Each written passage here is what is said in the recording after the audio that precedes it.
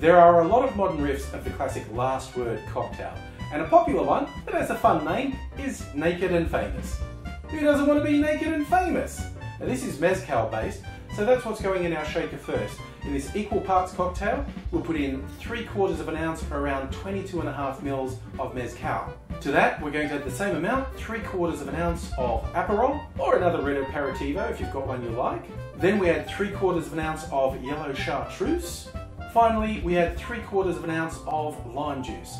Then we'll add ice to our shaker, give that a good solid shake for 10 or 15 seconds, and strain that into a nice chilled glass. And there we have a Naked and Famous. Not going to be for everyone. It's smoky from the mezcal. It's got really distinct herbal elements, but it's a really interesting drink. And uh, don't blame me if you have a couple and end up on the front cover of the newspaper, Naked and Famous.